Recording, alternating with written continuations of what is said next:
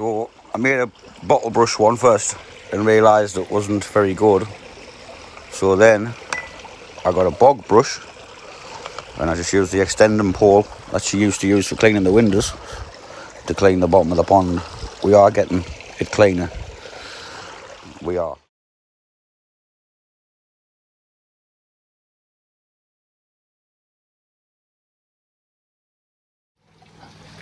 So because I've messed it all up with the brush, the water is absolutely a right mess now. But if we give it like 20, 30 minutes or maybe an hour, it'll clear up. Well, that's the theory. But it's absolutely migging. You can see through it. Show you shortly. So this is a little tip when you know your pond filter is absolutely blocked. You put this filter wool in front of the pond water features.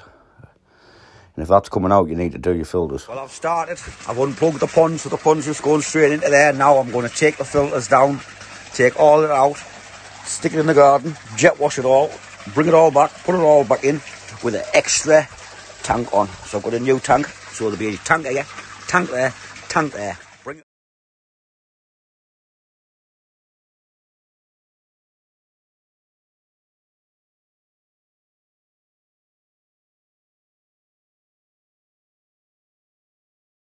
Well, I managed to get the light coming up to there, fastening onto the tank there, up to there, into there. I need to fix that.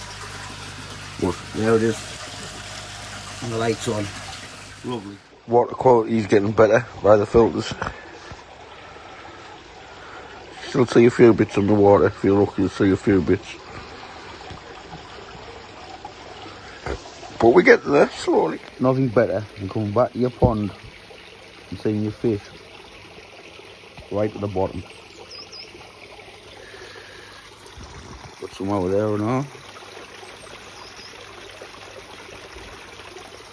Look how clean my water is. Buzzing.